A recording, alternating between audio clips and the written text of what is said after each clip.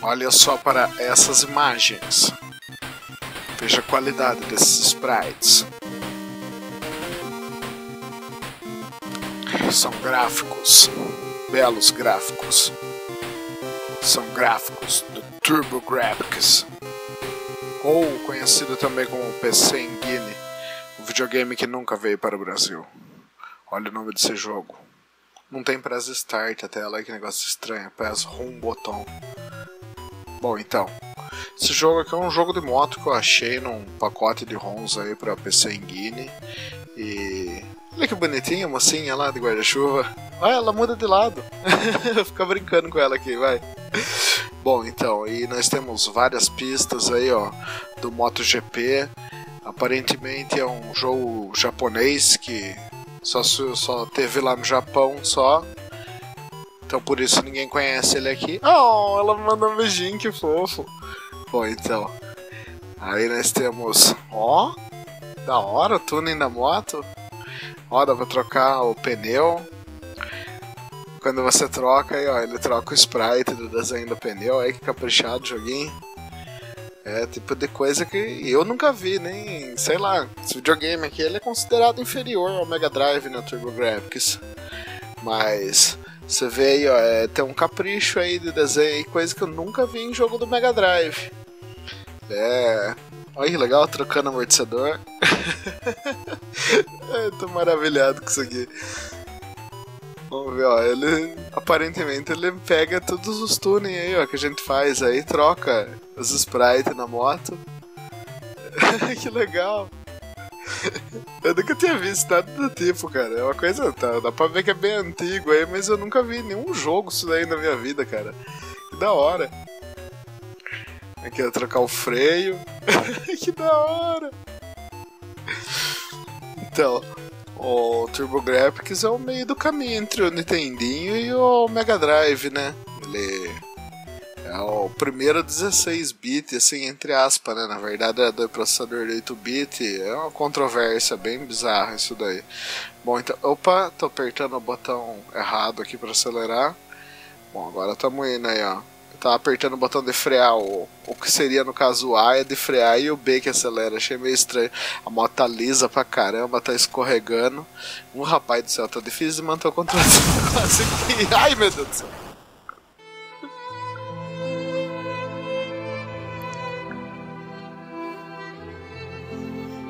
Beber no carnaval, não dirija.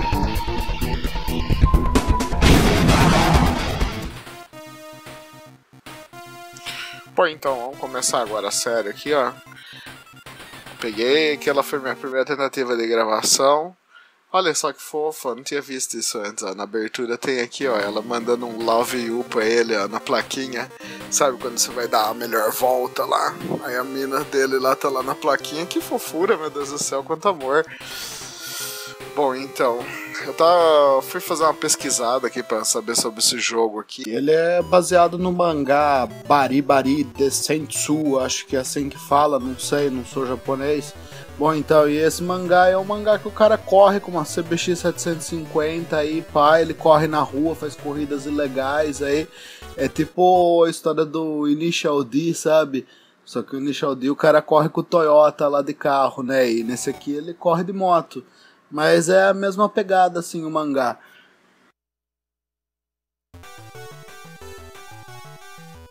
Então, nova tentativa aqui. Agora vai, vamos narrar a minha volta. Olha aí, estou aqui para fazer a melhor volta. A gente tem uma chance para fazer a volta classificatória e ver em qual posição ficarei. Realizei o melhor tuning em minha moto. Você pode ver que ela escorrega meio que violentamente para fora da pista. Olha, patrocínio da Bridgestone. Aquele guarda-reio onde eu quase morri aquela vez. Patrocínios da Dunlop. Vamos nós deitando. Patrocínios da Shoei. Meu Deus, quanto patrocínio. Mais patrocínios da Shoei, capacetes. Esse cabinho, não sei o que é. Coca-Cola, sempre presente nos eventos automotivos. No caso é motomotivo esse evento. Motociclístico. Bom. Continuando aí na nossa melhor volta aqui, estou me concentrando. Novamente passo do lado do patrocínio da Bridgestone. E assim acaba a reta Essa pista aqui não é Suzuka. Não, esse é o Road 2 na Austrália.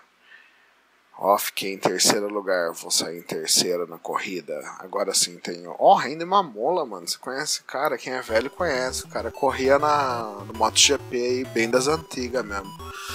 Bom, então. É, meu tuning tá aí feito aí. Vamos para a segunda tentativa. E os motores roncam e vai se iniciar mais uma corrida do MotoGP. E aqui meus adversários ao meu lado, todos multicoloridos, e saímos para a, essa disputa do GP, acredito que é da Austrália, não lembro mais. Bom, enfim, aqui vou eu, estou preparado para ultrapassar a todos e assim conseguir vencer.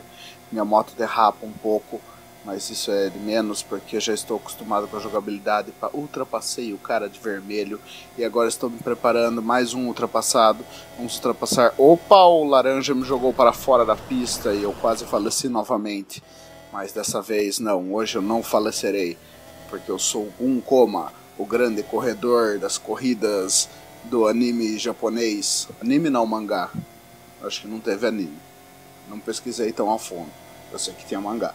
Enfim, aqui temos os laranjas para ultrapassar. Como vocês podem observar, os laranjas não contam. Olha só que desgraça. A gente ultrapassa eles e não muda a posição. Os laranjas são apenas laranjas. Temos aí nossos patrocinadores aí sempre presentes. Eu queria saber se esse jogo pagou alguma coisa de direito de imagem para alguma dessas marcas, cara. Porque tem marca pra caramba. Até pro Randy Mamola. Será se o Randy Mamola estiver vendo o vídeo aí, ó, fala pra nós se você já recebeu algum direito de imagem desse jogo. Bom, agora eu vou passar o cara de verde, ó. O cara de verde contou. Estou em décima posição me recuperando daquele tombo que eu tomei momentos atrás. Minha moto derrapa muito de maneira emocionante. Estou dirigindo por essa pista, altas curvas, essas piscadas psicodélicas das marcas da pista aí me deixa com a vista cansada. Mas enfim, isso é o de menos, isso é coisa da época, coisa do tempo Top Gear, coisa dessa época gloriosa e saudosista de quando o 3D não era 3D, ele era esse efeito muito louco aí. Os jogos de corrida eram tanto quanto difícil que ó, você vai chegando perto da curva, assim, dá um negócio epilético, né, cara? Você não consegue enxergar. o uh, caceta. Eu não falei, ó, o negócio atrapalha a vista da gente. Quando a gente vai querer virar assim, ele pega, ele não vira na hora que a gente quer. Enfim, agora mais uma tropa de laranjas para mim ultrapassar devido a minha brilhante performance. Enfim, vamos lá então. Ó, agora estamos na quarta volta, quer dizer, terceira, acabamos de virar a volta. Tenho que ultrapassar 10 carinhas. Será que vai ser essa vez que eu vou conseguir é, gravar uma vitória? Porque eu não vou parar de jogar esse jogo aqui até não conseguir uma vitória. E eu tô na luta aqui, na captura de uma vitória, porque eu tenho que mandar uma vitória junto com o vídeo, né? Pelo amor de Deus, vou gravar um vídeo do jogo e não vou ganhar uma corrida, não, não é possível, né? Enfim, aqui eu tô na minha, sei lá quanta tentativa, faz tempo que eu tô jogando. Eu já até peguei mais ou menos o jeito dos controles, era mais dar uma decorada na pista e nas curvas mais bravas, aí onde eu preciso dar um toquinho no freio, que aqui é assim, ó, você acelera sempre, aí você quase nunca tira a mão do acelerador, quando você dá uma tiradinha do acelerador, dá um toquinho no freio, a moto vira gostoso. Aí eu ultrapassei mais dois aí que contavam com posições, o vermelho e laranja, laranja não, roxo, e agora tem outro laranja aí que não conta, agora vamos ultrapassar o amarelo. Você vê que esses coloridos aí oferecem um pouquinho mais de resistência. Os laranjas são legítimos retardatários que não contam, só estão na pista para nos atrapalhar. Mais uma vez passando do lado do patrocínio da Bridgestone. E agora vamos. Opa, quase que o verdinho me jogou em cima do Dunlop. E lá vamos nós agora até lá o azul. Ó. Eu já tô na. Quantas voltas?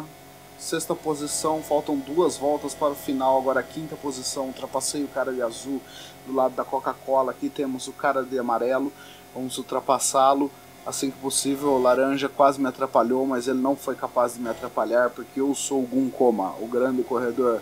E o amarelo acabou de ser ultrapassado. Vamos partir para o roxo e eu estou ultrapassando todo mundo dessa vez. Agora sim eu estou animado. Eu acho que eu vou vencer essa corrida. Ultrapassamos os laranjas e agora vamos para o vermelho. Vamos lá, vermelho. O vermelho não me atrapalhou, eu consegui ultrapassá-lo com sucesso. E agora mais um laranja para a coleção, ficando para trás. E eu estou em segundo colocado. e apenas aquele cara de azul está na minha frente, preciso vencê-lo para conseguir parar de jogar esse jogo e poder gravar logo esse vídeo. E os patrocínios da Shoei passam no meu lado, fazendo vento em minha orelha assim como os da Taito fazem na outra orelha do outro lado da cabeça. E o cara de azul, opa, estamos degladiando. Eu com o cara de azul, se fosse Rod Hash, estaria metendo bicudo nele para ele sair da minha frente. Ele oferece resistência, ele me fecha, ele não quer deixar eu passar, mas eu vou pegar o vácuo dele. Se eu não bater no guarda-rei, é lógico, eu vou pegar o vácuo dele e vou ultrapassá-lo. Os símbolos da Bridgestone, logotipos da Bridgestone vai me dar sorte. Eu consegui ultrapassá-lo, eu venci. Enfim, eu venci, agora posso gravar o vídeo. Nem acredito que eu venci uma corrida. Cara, o joguinho é meio difícil, mas ele é gostoso, viu? Eu pegar depois pra jogar ele com tempo, pra curtir mesmo, sabe? E jogar pra gravar é foda, né? A gente joga meio com pressa assim, a gente não curte tanto. Mas enfim, consegui vencer a corrida aí. Um forte abraço a todos que assistiram o vídeo aí e falou!